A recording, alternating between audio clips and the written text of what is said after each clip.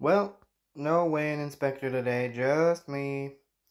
Um, I'm gonna I'm gonna do a weigh-in today, and uh, I'm I'm considering dropping the daily weigh-in. A lot of people do this every day. I'm thinking about just doing it on Mondays, but uh, so yeah, today's Sunday and tomorrow's Monday, so we'll probably just maybe do it one more time tomorrow and then once a week after that. But anyways, my last weigh-in was 161.8 and today wait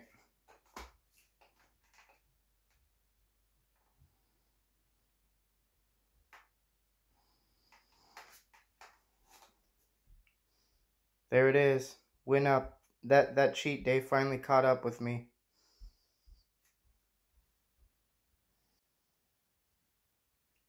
Starbucks beans machine.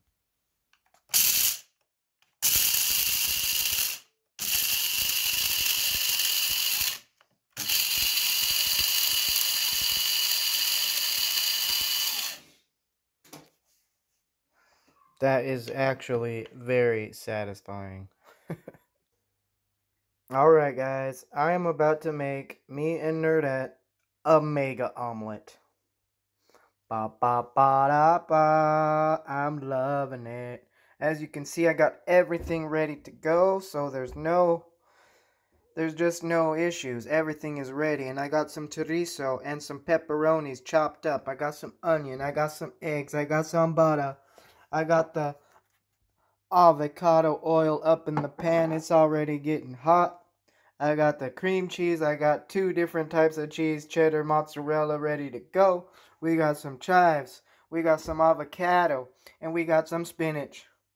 And don't forget, get some Italian up in you. Yeah, this is gonna be bomb. Ooh la la, there it is. Onions, pepperoni, chorizo. And you know what? I'm going to throw in some butter. Boom. That's just going to make it so the whole thing doesn't stick to the bottom of the pan. You want to make sure it's good and buttery. Plus, you know how much we love butter in the keto diet. Butter is is key. Definitely key. Alright, there is our mega nerdy omelet for two. I do not know how I'm going to get it out of the pan. But, we'll just, we're about to find out. Nerdgasm alert. Nerdgasm alert. Nerdgasm alert. Put some sour cream on, and you know, I'm going to go with some of this West Indian original hot pepper sauce. Hot. Uh, I asked Nerdette to test it out for me. She's not a big hot connoisseur. And uh, she almost died. It was uh, too hot for her. But um, I think it's going to be nice. Just like that. Bon appetizer. Just thought I'd share with you guys this uh, really nice scenery um, with with a little bit of light out today. This is uh, it's really pleasant when it's no wind, no more snow, and fresh snow everywhere. I, I do enjoy fresh snow, but uh, sometimes it's too much. Sometimes it's just right. Does anybody want to build a snowman? Anyone? Anyone? Well, looks like somebody enjoys the new clean bed. Fresh sheets. He's pretending to be asleep, but he's not.